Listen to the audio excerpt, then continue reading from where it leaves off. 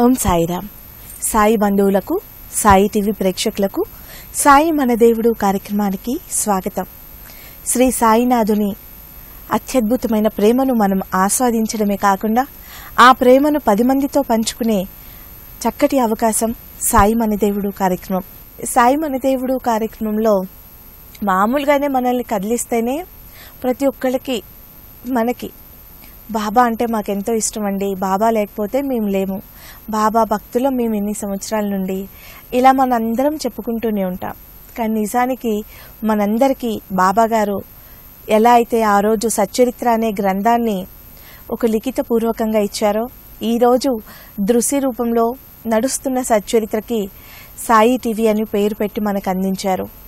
Sai TV వచ్చిన దగ్గర నుంచి సాయి పట్ల మరింత ప్రేమ పెరిగి అనుక్షణం సాయి ధ్యాసలో ఉంటున్నాము అని చెప్పే భక్తులు ఎన్నో రెట్లుగా పెరిగారు.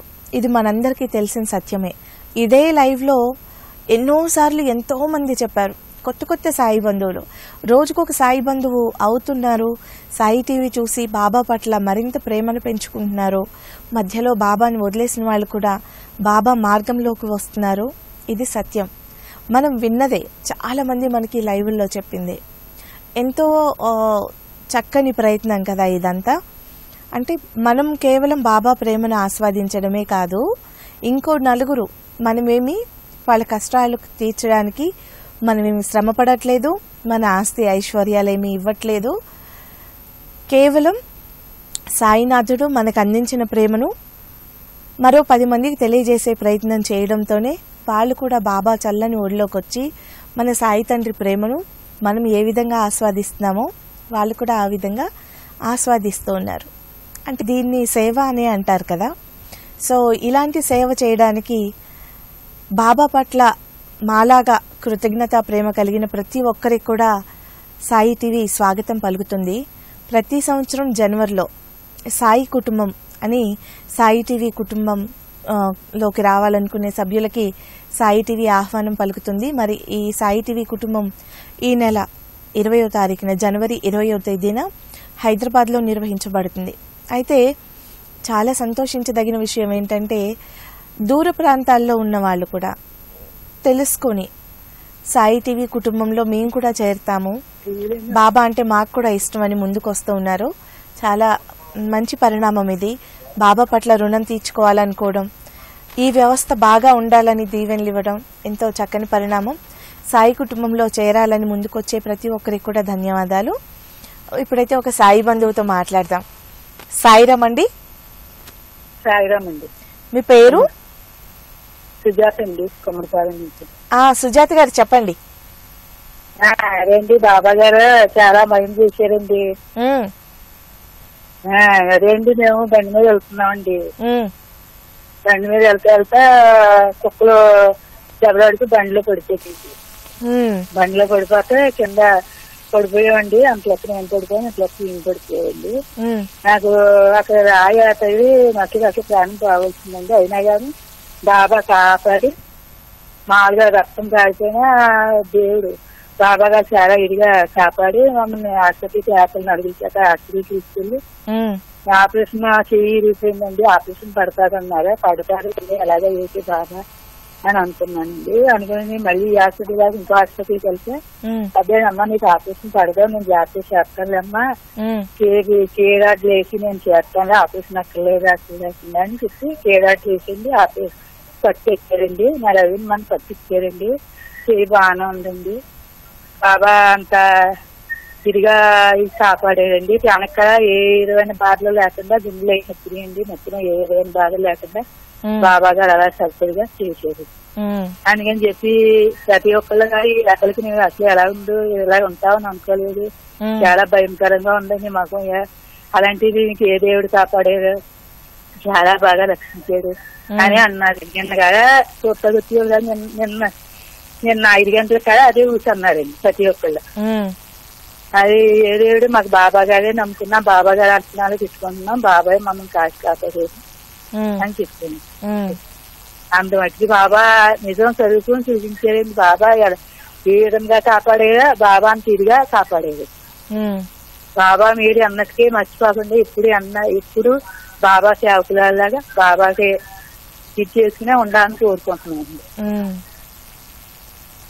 చాలా సంతోషం బాగా.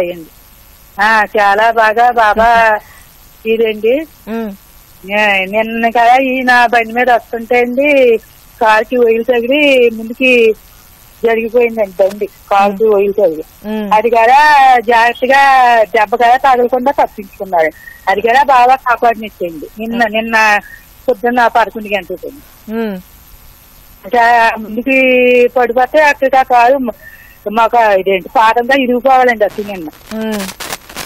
అలాంటిది బాబా అంత ఇదిగా కాపాడేది అందుకే సాయి సాయి బాబాకి ఎంతో రుణపడి ఉన్నామండి. ఆ బాబా ఎంతో ఇది మేలు చేసేది మాకు అదే కృతజ్ఞతలు చెప్పుకుంటున్నాను బాబాకి. మంచిదండి. మీరు చెప్పింది చాలా యథార్థం. ప్రతి ఒక్కళ్ళ జీవితంలో కూడా బాబా చాలా కనిపెట్టుకొని ఉంటారు. కాకపోతే మనం ఎంత గమనిస్తున్నాము ఏ విధంగా అర్థం చేసుకుంటున్నాం అనేదే మన అదృష్టం మీద ఆధారపడి ఉంటుంది. చాలా మంది జీవితాల్లో కూడా కష్టాలు వస్తూనే ఉంటాయి. కొంతమందికి వాళ్ళ పూర్వజన్మ సుకృతం చేత కష్టాలు లేవు అనుకోండి. అంటే ఎవరి పరిధిలో ఎవరికి ఉండేది వాళ్ళకి ఏదో ఒక సమస్య ఏదో ఒక సందర్భంలో ఖచ్చితంగా వస్తుంది. కానీ మనం అనుకుంటాం ఎంతసేపు? మనకంటే వాళ్ళకి ఏ సమస్యలు లేవు మనమే కష్టాల్లో ఉన్నాం మన బాధలు ఎవరికి రావద్దు అని. కానీ ప్రతి ఒక్కరికి వస్తాయి. సపోజ్ మనం ఎవరైనా అలా ఆలోచించే వాళ్ళు ఉంటారు. వాళ్ళకి ఏం తక్కువ? వాళ్ళకి చాలా బాగుంది. వాళ్ళు పెట్టి పుట్టారు ఇలాంటివేవో అనుకుంటూ ఉంటాం కదా. కానీ ఎవరు ఏ చేసినా ఎవరు ఎలా ఉన్నా మనం అనుభవించాల్సిన దానికంటే బాధలైతే చాలా తక్కువ అనుభవిస్తాం. ఆస్తులు సుఖాలు మాత్రం చాలా ఎక్కువ ఇస్తారు బాబా. అంటే చాలా బాధ అనుభవించాల్సిన దగ్గర మనం అనుభవించేది అది ఏమీ లెక్కలోకి రాదు. దాన్నే మనం భరించలేకపోతున్నాము అంటే బాబా ఇంకా ఎంత మాఫీ చేసుంటారు ఆ విధంగా మనం ఆలోచించుకోవాలి. అప్పుడు కదా మనం నిజమైన సాయి భక్తులం.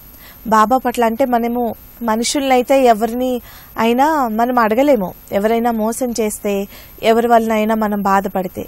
కానీ మనం వాళ్ళని అడగము ఇంకా మనమే నోరు మూసుకొని మన బాధ ఏదో మన అవమానం ఏదో మనం పడుతూ ఉంటాం. అదే సాయినాథుడు మన బాధంతా తాను తీసుకొని మనకెంతో మేలు చేస్తే మనం ఏం చేస్తాము? ఇంకా రివర్స్లో బాబాని నువ్వేం చేసావు బాబా? నాకు నువ్వు మమ్మల్ని చూడట్లేదు అని నింద వేస్తూ ఉంటాం. మరి మన సంస్కారం ఎక్కడ? మన కృతజ్ఞత ఎక్కడ?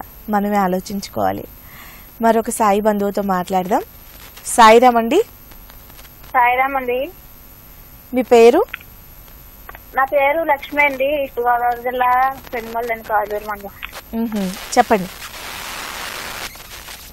మేము సా- నేను సాయిబాబాను బాగా నమ్ముతానండి. పన్నెండు సంవత్సరాల నుంచి పూజలు చేసుకుంటూ ఉంటున్నామండి.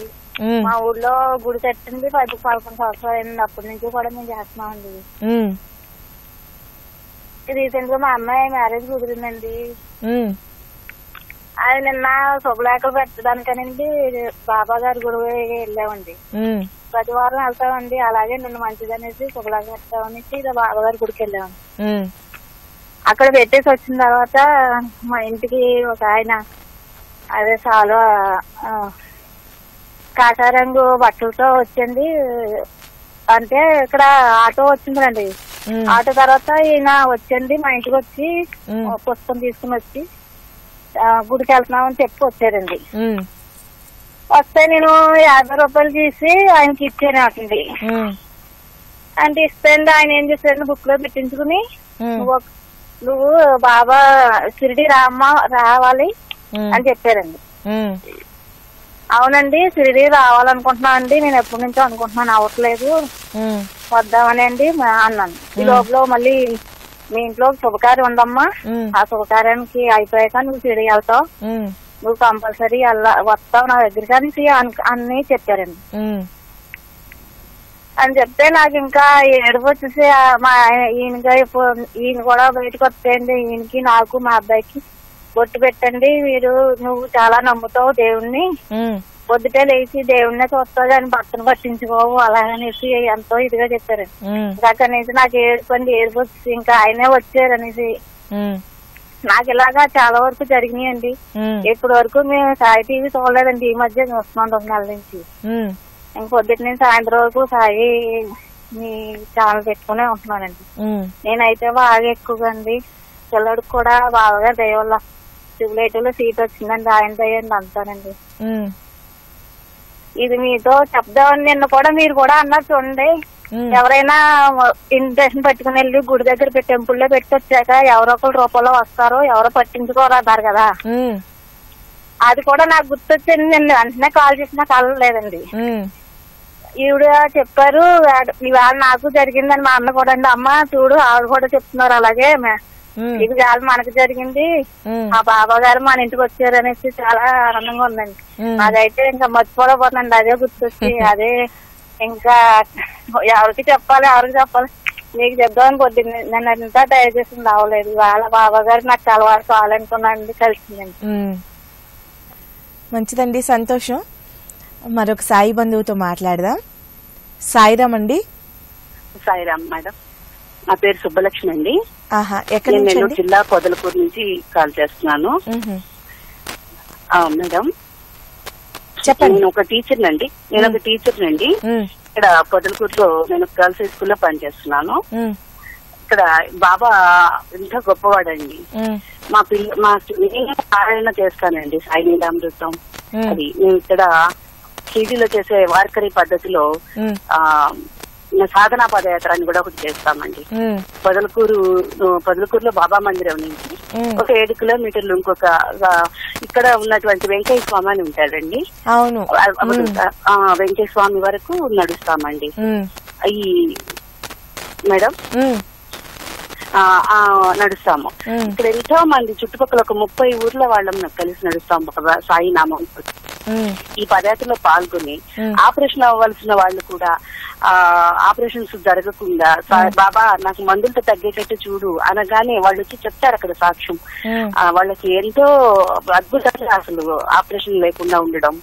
తర్వాత చదువు వాళ్ళు ఏదనుకుంటే అది పెళ్ళిళ్ళు అవ్వని వాళ్ళకి పెళ్ళిళ్ళు అవ్వడం. బాబా ఎంత గొప్పవాడింటండి మా స్కూల్లో ఒక అమ్మాయి అయితే పొట్టలో ఆ చిన్నప్పటి నుంచి మట్టి తిని మ్మ్. ఆ పొట్టలో అమ్మాయి అమ్మాయికి మెన్స్ట్రేషన్ రాదు ఎయిత్ క్లాస్ అమ్మాయి అమ్మాయి నైన్త్ క్లాస్ అమ్మాయి రాదు అని డాక్టర్స్ చెప్పారు రాదు ఇంకా ఈ అమ్మాయికి నీళ్ళు పుట్టరు అని చెప్పారట.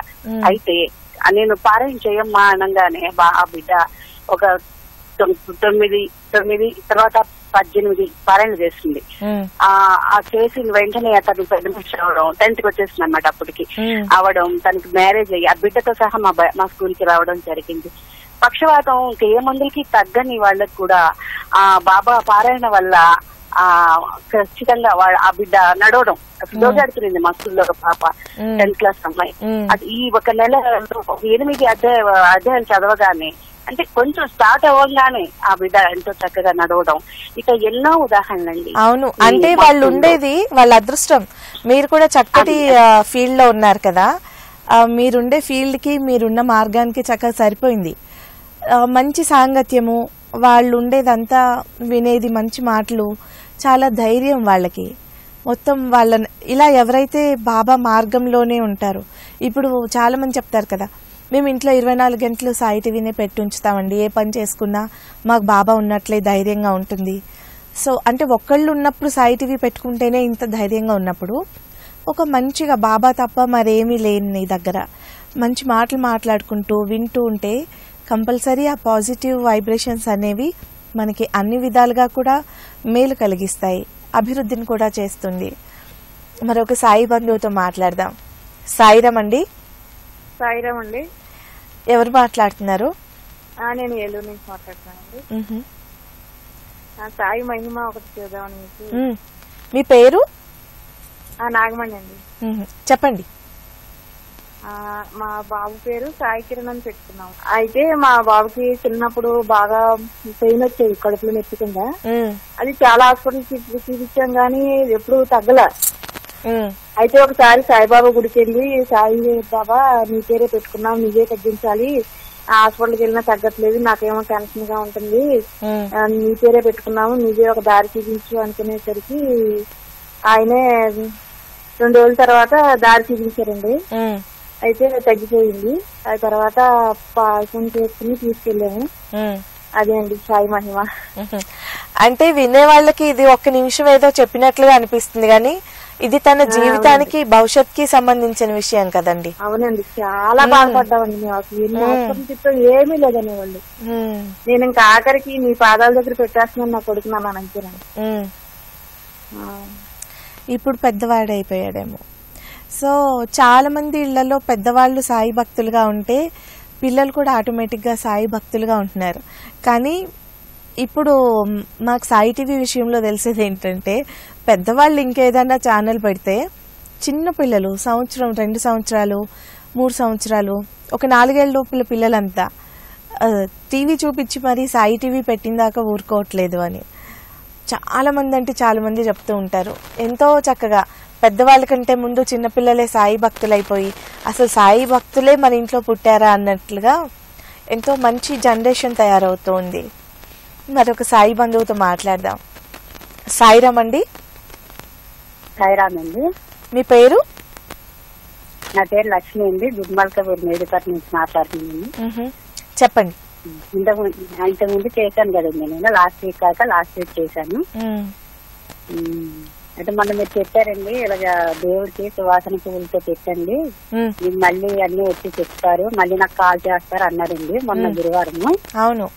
అయితే ఆ రోజు గుడికి వెళ్ళానండి మీకు ఫోన్ చేసేసి నేను మళ్ళీ సాయిబాబా గుడికి వెళ్ళానండి. మ్, వెళ్తే ఏమైందంటే ఇంక దేవుడు మామూలు దర్- దర్శనం చేసుకొని ఇంటికి వచ్చేసానండి. ఇంటికి వచ్చేసి ఇంకా పడుకున్నాం. పడుకున్నాక మళ్ళీ అదే రోజు నైట్ కళ్ళకి వచ్చారండి మ్, నేను వెళ్ళిన టెంపులే అది మా ఇంటి దగ్గర బిన్మాలకపూర్ సాయిబాబా టెంపులే నాకు కళ్ళకి వచ్చిందండి అయితే అక్కడ నేను సాయిబాబా టెంపుల్ ఉందండి శివాలయం ఉంది మాకు. అయితే శివ సాయిబాబా టెంపుల్కి వెళ్ళకుండా శివాలయంలోకి వెళ్ళింది శివాలయంలోకి వెళ్తేనే నాకు ఒక ఒక పెద్దమ్మ ఉందండి ఆ పెద్దమ్మ అక్కడ శివుడి దగ్గర సేమ్ అదే గుడిలో శివుడి దగ్గర పువ్వులన్నీ చేరుస్తుంది అనమాట చేసి నేను అనుకుని ఇదేంటి పెద్దమ్మ ఇక్కడ ఉంది శివుడి దగ్గర డైరెక్ట్గా ఆలయంలోకి వెళ్ళి పువ్వులు చేరుస్తుంది సరే అనుకుని ఇంకా అప్పుడు ఆ రెండు రెండు బుద్ధి వచ్చావా రామ్మ గుడిలోకి రా అనుకుందండి సరే ఇంకా లైన్ ఉన్నారు కదా పెద్దమ్మ నేను ఇంకా బయటకే నిల్చుంటాను అనేసి అలా లైన్లో నిల్చున్నానండి అయితే డోర్లు చాలా పెద్ద డోర్ అండి. శివాలయానికి. మన తిరుపతికి ఉంటాయి చూడండి అంత పెద్ద డోర్స్ అన్నమాట. మ్, అది ఓపెన్ అయ్యేయండి ఓపెన్ అయ్యానండి శివుడు అలాగే నేను రాత్రి ఏ గుడి చూసి వచ్చాను అదే శివుడు అక్కడ వచ్చారనమాట నేను అనుకుని ఇదేంటి నేను సాయిబాబు గుడికి వచ్చాను కదా నాకు శివుడు కనిపిస్తున్నాడు ఏంటని అనుకుంటున్నాను. అదే శివుడు ముందండి సాయిబాబు. అది వరాల సాయి ఉంది శివుడు చూశానండి మీరు. ప్రోగ్రామ్ అయింది కదండి అది మనకి. ఆ వరాల సాయి ఇది ఎలాగంటే ఒక చిన్న చిన్న విగ్రహం అండి. చిన్న అంటే మీడియం విగ్రహం అండి. అలాగే ఆయన ముందు ఆయన అభిషేకం చేస్తున్నారండి శివుడి ముందు. నేను కన్ఫ్యూజ్ అయిపోతున్నాను. శివుడు చూస్తున్నాను నేనేంటి శివాలయం చూస్తాను నాకేంటి మళ్ళీ అక్కడ ఆయన ముందు సాయిబాబాకి అభిషేకం చేస్తున్నారు ఏంటండి ఆయన చూస్తున్నా నేను చూస్తున్నా కన్ఫ్యూజ్ అయిపోతున్నాను నేను. అయితే అబ్బాయి అది అంతా నాకు అదృష్టం వరాల సాయి ఇలా కనిపించారు అనేసి మళ్ళీ అనుకుంటున్నానండి. అనుకుంటుండగా ఇంకా లైన్లో ఉన్నాను కదండి. లైన్లో ఉంటే అయితే పక్కన చూడండి మళ్ళీ. రియల్ రియల్ గానండి మనిషి సాయిబాబు అండి ఆ పక్కన కూర్చొని ఆయన ఏదో ఇలాగా ఒరిగి ఏదో చేసుకుంటున్నారండి ఆయన పని ఆయన. సడన్గా సైడ్ చూస్తే ఆయన ఇలా ఉన్నారండి. అప్పుడు నేను అనుకుంటున్నాను ఇదేంటి? డైరెక్ట్ సాయిబాబు ఎక్కడ ఉండగా నేనెందుకు విగ్రహం దగ్గరికి వెళ్ళాలి. నా కోరికలన్నీ విగ్ర- విగ్రహానికి ఎందుకు చెప్పాలి. అదేదో ఈయన దగ్గరికి వెళ్ళిపోతే అయిపోతుంది కదా మీరు అంత పక్కన జరగండి. నేను ఆయన దగ్గరికి వెళ్ళిపోయి నేను డైరెక్ట్ మాట్లాడితే నా కోరికలన్నీ ఆయనే తీరుస్తారు. నేను మళ్ళీ విగ్రహానికి చెప్పి వెళ్ళి ఆయనకి ఎప్పుడు చెప్తారో నా కోరికలన్నీ ఎప్పటికైతాయో అనేసి అనుకుంటున్నానండి. అది అనుకున్నప్పుడు సడన్గా మ్, అవును మళ్ళీ మీరే గుర్తొచ్చారు. సువాసన పూలు చెప్పమన్నారు కదా నైట్ వెళ్ళి మళ్ళీ వేసి వచ్చిందండి మీరు అన్నాక. వేసి వస్తే చూసారు నిజంగా ఆవిడ అన్నందుకైనా నాకు కల్లోకి ఎలా వచ్చారో చూడు అసలు అనిపించిందండి. చాలా బాగా ఇదే అయ్యింది నాకైతే. అయితే ఇప్పుడు మనకి ఇరవై తారీఖు హారతలు ఉన్నాయి కదండి. వద్దాం అనుకుంటున్నాను. మీరు ఆ రోజు నేను ఒకటి చెప్పాను మీరు అది పాటించలేదు. మీకు ఇంకా చాలా పెద్ద అదృష్టం ఉంది జస్ట్ మిస్ అయ్యారు.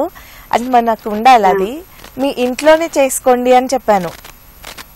ఇంట్లో ఇంట్లోనే వేసుకోండి అని చెప్పాను. ఇంకా చాలా మంచి జరగాల్సి ఉండింది ఆ భవిష్యత్తులో మళ్ళీ ఎప్పుడైనా మళ్ళీ ఆ యోగం వచ్చినప్పుడు మీకు జరుగుతుంది. పర్వాలేదు. అంటే మనకి ఎంత అది ఉన్నా మనకి మన పాత్రను బట్టి మనకి దొరుకుతుంది మీకు వచ్చిన కళ చాలా మంచిది. చాలా మంచి నిదర్శనం కూడా అది. రండి తప్పకుండా. సో మళ్ళీ ఆవిడ హారతుల దగ్గరికి తీసుకొని వచ్చారు కదా. చాలా మంది అన్ని ప్రాంతాల నుంచి కూడా కాల్ చేసి సంతోషపడుతున్నారు. బాబా గారి హారతుల ఉత్సవం జరుగుతుంది కదా. అంటే ఏంటి? ఆ రోజు లైవ్ ఇస్తారా? ఏ టైం నుంచి? మేము కూడా రావాలని ఉంది కానీ దూరం కదా రాలేకపోతున్నాము అని. ఇంకా కొంతమంది సాయి బంధువులు అయితే మా దగ్గర కూడా పెట్టండి అని అడుగుతున్నారు. బయట బయట పెట్టినప్పుడు మాకు కూడా ఇష్టం.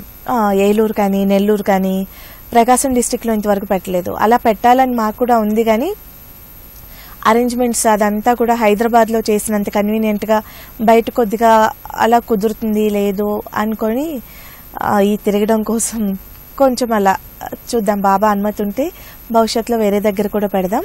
అండ్ సాయి కుటుంబం కంపల్సరీ మనందరికీ షిరిడి ఎలా బాబా అంటే షిరిడీనో సాయి టీవీ అంటే కూడా ఇక్కడ హైదరాబాద్లో అన్ని ప్రాంతాల వాళ్ళు. అంటే నెల్లూరు నుంచి ఇక్కడ ఉన్నారు కందుకూరు నుంచి ఉన్నారు లేకపోతే ఏలూరు నుంచి ఉన్నారు. అందరూ ఇక్కడ ఉంటారు కదా. మాకు సంబంధించి బాబా గారు ఎంచుకున్న ప్రదేశం ఇది. సో సాయి కుటుంబం ఫస్ట్ ఇక్కడే స్టార్ట్ అవుతుంది. తర్వాత మిగతా ప్రాంతాల్లో కూడా బాబా గారి అనుమతి ప్రకారం బాబా అనుమతిస్తే ఉంటుంది. అప్పుడు పెట్టుకుందాం. బాబా ఏ కార్యక్రమం పెట్టిస్తే అది. మరొక సాయి బంధువుతో మాట్లాడదాం. సాయిరామ్ అండి మీ పేరు? గురులక్ష్మి అండి ఎక్కడి నుంచి మాట్లాడుతున్నారు? గుంటూరు నుంచి అండి చైతన్యపురి. ఆహా చెప్పండి. బాబా అంటే నాకు చాలా ఇష్టం అండి. మాకు బాగా మంచిగా జరిగింది మాకు చాలా బాగా మంచిగా జరిగింది. మా అమ్మాయి ఇద్దరు మ్, చూడు వెళ్ళొచ్చాము. ఒకసారి మేము వెళ్దామని వెళ్ళ వెళ్ళలేదు. మా వాళ్ళ బంధువులు అంటే వాళ్ళు వెళ్ళట్లేదు. మా వారు సెలవులేదు ఆఫీస్ మున్సిపల్ అసలు చేస్తారు. మ్, ఇంకా ఒక రోజు పన్నెండింటి కరెక్ట్గా ఇంకా షిరిడి నుంచి తీసుకొచ్చామండి. రావాలి. ఇంకా అంత దూరాన్ని పోయి పడిందండి. ఏంటది విగ్రహం. బాబా బాబా విగ్రహం ఆ, ఇంకా అలాగా అప్పుడప్పుడు ఇంకా నేను అన్నా మనం వెళ్దాం అనుకున్నాము. వెళ్ళలేదు. అందుకని బాబా మన రప్పించుకుంటున్నారు అని మా ఆవిడ అప్పుడప్పుడు మా బంధువులు ఫోన్ చేసి చెప్పారండి. మ్, ఇంకా మేము అనుకోకుండా మళ్ళీ ఎమ్మటే దర్శనం బాగా జరిగిందండి ఆడ మాకు. చాలా ఇష్టం అండి బాబా. అంటే నేను బాగా నమ్ముతానండి. రోజు ప్రతి రోజు హార్ట్కి వెళ్తా. చెట్టుని గురి ఉంటా. బాగా బాబా గుళ్ళు బాగా చేస్తారు. హారతులు ఇంట్లో కూడా చేసుకోండి అమ్మా. మధ్యాహ్న హారతి అంటే సంధ్యా హారతి అన్నా. మీరు ఇంట్లో చేసుకోండి. మీకు సాయి టీవీలో వచ్చింది కదమ్మా? మనం ఇస్తాం కదా. ఆ వచ్చే టైంలో బాబా దగ్గర దీపం వెలిగించి అంత నైవేద్యం పెట్టి నమస్కారం పెట్టుకొని ఆ మీరు గుడికి వెళ్ళినా మీరు ఎలాగో మీరు ఏం పాడతారో ఒకవేళ విని పాడేదైతే మీకు సాయి టీవీలో వస్తుంది కదా అది పెట్టుకొని చేసుకోండి. సరే చాలా మంది మనకి ఇళ్ళలో చేసుకోరు కానీ అలా అని అన్ని హారతులకి మనకి మందిరాలకు వెళ్ళడానికి కూడా కుదరదు. మన ఇంట్లో పూజ చేసుకుంటే మనం ఇంట్లో పారాయణ చేసుకుంటే ఇంట్లో చాలా వరకు పాజిటివ్ ఎనర్జీ అనేది పెరుగుతుంది. ఇంకా మనకి ఎలాగో ఉన్న ఆచారాలు ఉన్నాయి కదా. చక్కగా రోజు ఒక అగరబత్తి వెలిగిస్తే దీపం పెడితే అది ఎలాగో మనకి మేలు చేస్తుంది. దాని వెనుక ఉండే సైన్స్ ఎలాగో ఉంది. అందులో మట్టి ప్రమిదల్లో దీపం పెట్టుకుంటే ఇంకా చాలా మంచిది ఇలా ఉంటుంది కదా. సో వీలైనంత వరకు ఇంట్లో మనం ఎంతవరకు సాధన చేస్తే అంత మనకి ఇంట్లో ఆ ప్రశాంతత అనేది దొరుకుతుంది. అది అందరూ ఒకవేళ మనం ఎప్పుడైనా ఒక రెండు మూడు రోజులు బయటకు వెళ్ళొస్తాం కదా వేరే ఊర్లు వెళ్ళొచ్చినా కానీ మనం ఆ మూడు రోజులు నాలుగు రోజులు ఒక బయటకి వేరే ఊర్లు వెళ్ళొస్తే ఇంట్లో లేకుండా ఉన్నా ఇంట్లోకి రాగానే మనకి తెలుస్తుంది ఆ ప్రశాంతత అనేది. సో మన ఇంటినే మందిరంగా చేసుకోవచ్చు. ఇంకా చక్కగా మన ఆలోచనలు మనలో ఏమి చెడ్డ ఆలోచనలు ఉన్నాయి అలాంటివన్నీ మనం తీసేసుకొని గమనించుకొని మనసు ప్రశాంతంగా చేసుకుంటే బాబాని మన హృదయంలోనే పెట్టుకోవచ్చు. మనకి మన హృదయంలోంచి వచ్చే ప్రతి ఆలోచన మన వాక్కు ప్రతిదీ బాబా పలికించేది అవుతుంది అవి ఫలిస్తాయి కూడా. సో చాలా చిన్న విషయమే కానీ అదృష్టమే ఉండాలి. బాబా ఉన్నారు అంటే అన్నీ ఉన్నట్లే. బాబాని అన్కండిషనల్గా ఎలాంటి షరతులు లేకుండా మనం బాబాని ప్రేమించగలిగే స్థితికి వస్తే ఆటోమేటిక్గా చాలా జరుగుతాయి.